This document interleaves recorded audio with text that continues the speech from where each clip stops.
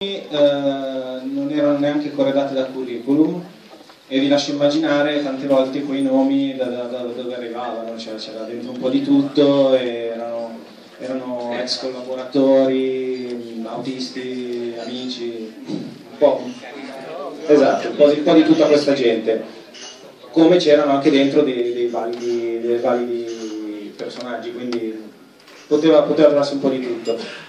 Eh, noi ci siamo trovati col problema iniziale di dire come faccio senza curriculum a scegliere una persona per collaborare con il nostro gruppo.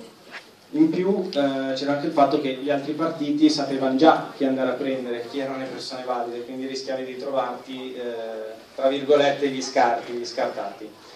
E dall'allegato A, eh, tutte le persone che sono nell'allegato A andavano suddivise proporzionalmente su tutti i gruppi e assunte con, con contratti che erano già stabiliti. Sull'allegato B invece sono più di 500 persone che andavano, andavano assunte in proporzione di uno ogni 5 deputati e con contratti da stabilire volta per volta col singolo da, da, da contrattare.